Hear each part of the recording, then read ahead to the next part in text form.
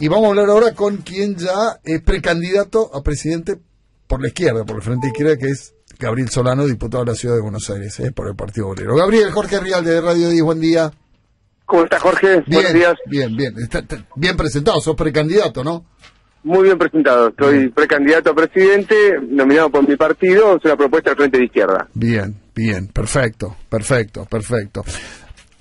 ¿Cómo, cómo estás viendo esta vuelta política? Recién hablaba con Pichetto y empezamos a hablar de la juventud y todo, y él decía, che, hay un fenómeno de corrimiento hacia la derecha, cuando la, digamos que la rebelión siempre fue de izquierda. Gabriel, ¿qué está pasando? Mira, eh, es un tema obviamente a abordar. Yo pienso lo siguiente. Primero no tengo claro la magnitud del fenómeno, no te Ujú. voy a ser sincero, ¿viste? O sea, Sí. todo el mundo dice la juventud está con mi ley. Es así, veremos. Yo no, no tengo de todo claro, pero prefiero, lo decía ahí un colega tuyo hace un ratito, prefiero creerlo para combatirlo y no quedarme tranquilo con que no, ¿me entendés? Bien. me parece más sabio eh, cuidarse de salud y enfrentar el fenómeno. ¿Por qué puede estar pasando esto si es que está pasando? Todo tiene que ver con lo siguiente, hay mucha bronca de la gente, mucha bronca. Una bronca que es completamente legítima, justificada, este país está hecho pelota, Jorge está hecho pelota. Sí. Eh, donde vos quieras, sobre lo que vos quieras mirar, desde el punto económico, social, de estructural. Este es un país que está destruido. Eh, los pibes más, un pibe hoy para laburar, difícilmente consigue un laburo en blanco, con, con aporte jubilatorio, con obra social. La situación social es insoportable para un pibe. Ahora bien, ¿qué es lo que ocurre? Muchos dicen lo siguiente, hoy ¿quién nos gobierna? Nos gobierna un gobierno que se dice progresista, y si vos querés, hasta de izquierda. Entonces lo que sucede es que dice, bueno, si esto viene, si la culpa es de un gobierno de este tipo, vamos para la derecha.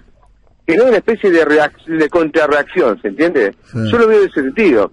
Entonces también hay que tener en cuenta muchas veces, no solamente que cuando un gobierno asume con determinadas banderas que parecen buenas, no las cumple, tiene dos efectos negativos. Por un lado, que el pueblo vive mal, pero también genera una desilusión política. Ahora, La televisión política es aprovechada por este tipo de oportunistas como Mirai, que lo considera una persona nefasta, te lo repito, nefasta, porque el planteo de Mirai es peor que lo que tenemos hoy. Pero en cualquier variante, él está explotando con determinada habilidad este fenómeno político que existe, ¿no?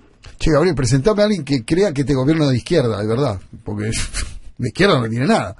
Nada, Ah. pero bueno, eh, pero, a ver, pero este es el frente de todos, se llama así, ¿no? Hasta se, Sí. No se opuse yo el nombre, se opusieron ellos, digo, para que nadie me acuse a mí.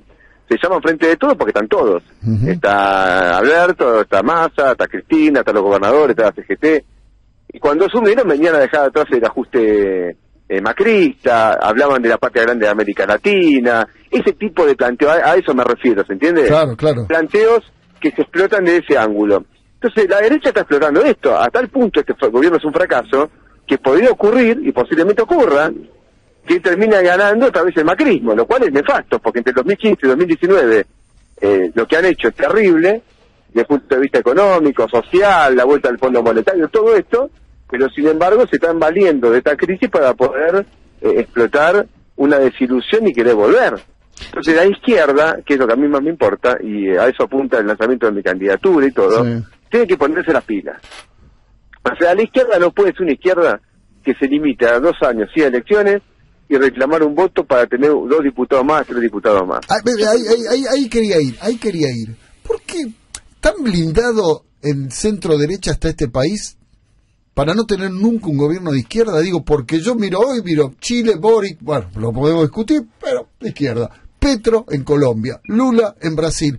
Hay movimientos de izquierda que tienen posibilidad de llegar al poder. Acá nunca sentimos, yo tengo 60 años, que hayan tenido la posibilidad de ser poder. ¿Por qué se quedan en eso que vos acabas de decir? Y estamos para dos diputados. Bueno, porque yo creo que en Argentina, que es un fenómeno dinámico, tu pregunta es interesante, porque yo pienso que en buena medida ocurrió que el peronismo ocupó ese lugar. Exacto. El peronismo vino a ocupar ese lugar político de decir nosotros representamos a los trabajadores no a la izquierda. Los sindicatos son de Perón, no de la izquierda, ¿se entiende? Sí. Y, Ahora, de- ese y- fen- sí. Eh, y de la juventud lo mismo. A ese fenómeno yo creo que está retroceso de hace mucho tiempo para acá, de hace mucho tiempo para acá, porque vos te das cuenta que eh, eh, Macrismo cuando ganó en 2015 Macri ganó también bien la provincia de Buenos Aires. Ujú. Es decir, que el, el- el año pasado ganó la provincia de Buenos Aires el macrismo. Es decir, el peronismo está en retroceso y por izquierda, quizás lo más interesante que hubo en las elecciones del 2021 para el Frente de Izquierda fue las votaciones importantes de La Matanza, en Moreno, en Merlo, eh, lugares que por primera vez la izquierda tiene concejales, lugares que han blindados para la izquierda, ahora estamos presentes ahí. Sí. Y eso se debe a un gran trabajo de bases, de las barreras populares, en el movimiento desocupados, de los sindicatos. Para mí, el futuro nuestro está ahí.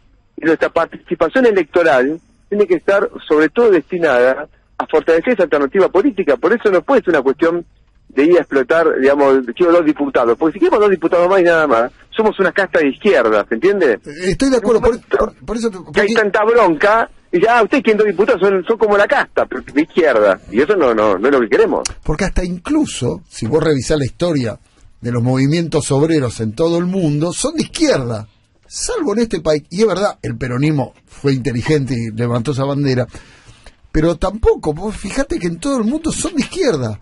Lógico, acá te agrego una más, es el peronismo y también la dictadura. Porque, ojo, Sí, la rompió toda, cuando cierto. bueno, cuando eh, los trabajadores estaban superando el peronismo en el año 75, 76, vino la dictadura y mató a 30.000. Sí. ¿Se entiende? O sea, tampoco, eh, no hay que olvidarse de ese hecho. Y no fue solamente y Macerante, había sido en Ganía, o sea, también la dictadura, cuando los fenómenos de contención política fracasaron, vinieron con la Sí, con la, pero, con la picana, ¿te? O sea, No. un aniquilamiento físico de una vanguardia, eso también hay que tenerlo en cuenta. Gabriel, en los 70 la izquierda era fuerte, se hizo el Cordobazo, el Viborazo, Citrax, Citram, teníamos todo en esa época. Por eso te digo, la izquierda era muy fuerte, Claro. eh, lo que vos decís, Viborazo, Cordobazo, Sí. Rosallazo, todo, todo, y el peronismo no lo pudo parar, lo trajeron a Perón, que lo tuvieron proyecto, tantos años afuera, lo trajeron por el Cordobazo, a ver si paraba eso, no pudo, vino la dictadura con Videla y Papera. Sí, sí. Entonces también eso fue un fenómeno. Ahora, yo pienso que eh, la izquierda tiene que asumir una responsabilidad histórica. Argentina tiene una crisis de semejante envergadura que la izquierda tiene que dar su programa hasta el final. Porque acá es cuando se dice, viste, que un cáncer no se lo cura con aspirina. Bueno, acá pasa, acá tenemos un problema que es como un cáncer en el país. No hace falta una hace falta medidas de transformación, de fondo. Y eso solamente lo puede hacer la izquierda. Queremos un programa de ese, de ese nivel, de esa naturaleza. Pero ¿no? por ahora son una aspirina. No, bueno, sí, eh, desde el punto electoral somos una fuerza todavía reducida, aunque creciente, pero nuestro fenómeno más fuerte es cómo organizamos al pueblo. Claro. En las luchas, y la izquierda tiene que estar metido en eso. Por eso nosotros tenemos un debate también de qué izquierda necesitamos. Yo dije, no queremos una izquierda light, no queremos una izquierda light. Claro. Queremos una izquierda que pelee, que se plante, eso nos parece fundamental. Bien, bien. Ojalá, ojalá. Digo, por eso a mí me, me llama mucho la atención lo de la juventud. Digo, nosotros cuando éramos jóvenes éramos de izquierda, era la lógica. Papu, no había. Mira, este año, este año ahora sale, voy a, te digo una, una novedad. Dale. Eh, en unos días sale un libro mío. Ajá. eh, lo dicta Planeta, bueno, estoy Sí. a la espera que, que salga, que es el balance de los 40 años de democracia en Argentina. Ajá. Eh, ha sido un fracaso, Jorge. Tenemos que animarlo a decirlo. No para defender la dictadura que habíamos compartido siempre, pero ha sido un fracaso. No le vamos a dejar la crítica al sistema a Milei, la crítica al sistema la va a hacer la izquierda, sacando las conclusiones de por qué esto. Así que cuando tenga el libro te lo voy a mandar. Dale. Interesa después una opinión tuya también. Me encantaría. Acá mi compañera Nazarena te quiere hacer una. Gabriel, ¿cómo estás? Eh, ¿Cómo estás? De lo que se de lo que se critica de esta gestión particularmente es que por ahí se han perdido, ¿no? En ideales o en discusiones palermitanas, ¿no? Para decirlo rápido y se, se se, se desconectaron no del finalmente de la realidad que está pasando y, de las quejas de todos los días. ¿No te parece que digamos, esa crítica también se extiende a la izquierda por parte de los detractores del movimiento? ¿Qué decís al respecto? Sí, pero ahí no la consigo justificada. Mira, yo estoy en Mendoza, estamos hablando. Está la fiesta de la vendimia. Están todos los políticos acá de Mendoza. Eh, yo voy a mañana porque voy a una contramarcha con los obreros agrícolas, me estoy a una reunión a Maipú a reunirme con los trabajadores que están de la bodega, que jamás se van a comprar el vino que ellos producen, ¿me entendés? Mm. Jamás, con un vino que venden le pagan a siete. Ujú. Nosotros estamos conectados con eso. Entonces, obviamente nuestros adversarios nos van a criticar. Yo le, le- le doy derecho a mi adversario a que me critique. En eso consiste la política. Pero la izquierda está muy jugada la lucha popular. Lo van a ver en una campe de desocupados, lo van a ver en una bodega con los trabajadores, lo van a ver en esa pelea. Entonces, vamos a tener que esto darle más fuerza, más vigor, más consistencia. Y hacerlo todos juntos. Esa es nuestra idea, ¿no?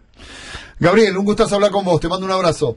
Abrazo, Jorge. Hasta luego. Gabriel Solano, eh, charló con nosotros. Hicimos una, una charla sobre izquierda, perdón.